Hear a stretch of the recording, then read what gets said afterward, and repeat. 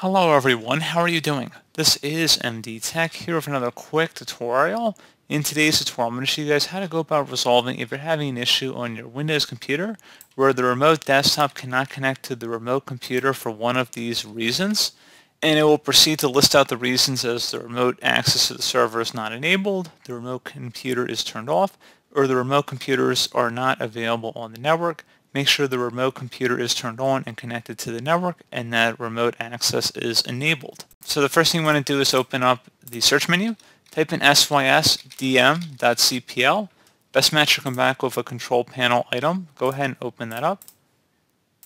Select the remote tab and then where it says allow remote assistance connections to this computer, make sure that's turned on and then also make sure that the option to allow remote connections to this computer underneath remote desktop is also selected and that the, the option right underneath the checkbox here versus allow connections only from computers running remote desktop with network level authentication.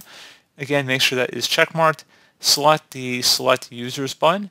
Make sure that you currently have access, and this is your username here. If not, you might have to click the add button and then search for your username and you would select check names and you would select OK.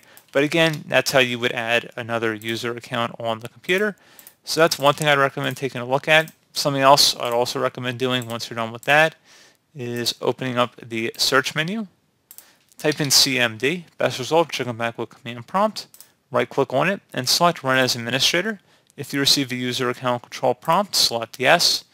And now you want to go ahead and type in ipconfig and hit enter. So make sure that the IP address that's listed over here reflects what the IP address on the other machine is because that's the number assigned by the DHCP server. So again, make sure that number matches up with what you have on the other computer. And then you also want to go ahead and type in ipconfig space forward slash flush DNS, hit enter.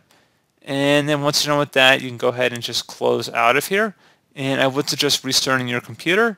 And then once you've done that, hopefully once you restart it, you should be good to go.